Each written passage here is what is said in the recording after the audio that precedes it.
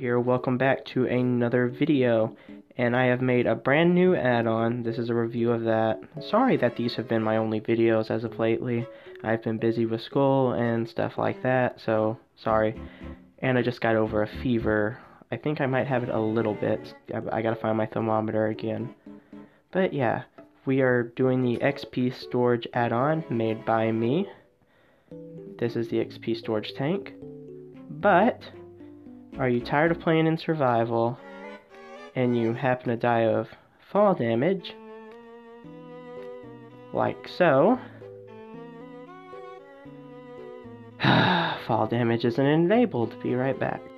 So as I was saying, you know those times when you die in Minecraft and you lose all your 30 left? Are you kidding me? Half a heart? Gah! As I was saying, you know those times when you die in Minecraft and you have 30 levels and you just lose them all, and then when you go collect them, you only get 7 back. That is so annoying. But what if I told you you could store all of this XP uh, using bottles by simply grabbing as many as you want and storing 5 levels at a time. Now there is a sound effect which I'll show you now. As you could hear, I added a sound effect for when you remove levels, and there's also a sound effect for when you restore your levels.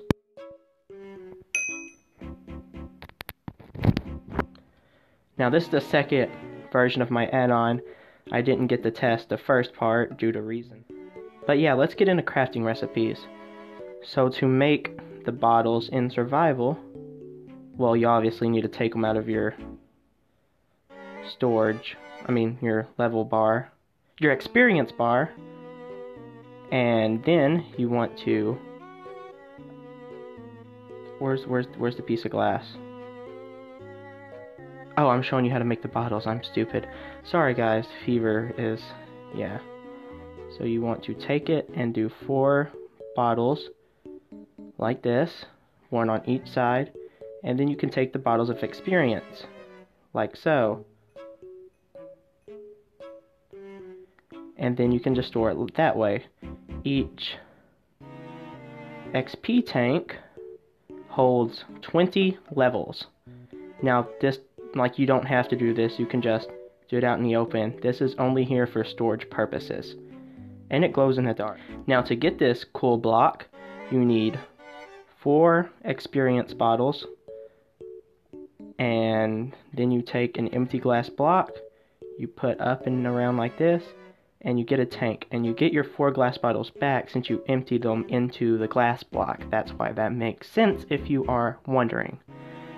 So yeah guys, this has been a quick add-on review. It's pretty useful for survival players and I recommend you trying it out. There's no adfly links or anything. And speaking of which, I don't want anyone else using those links to make money off of what I spend my time on.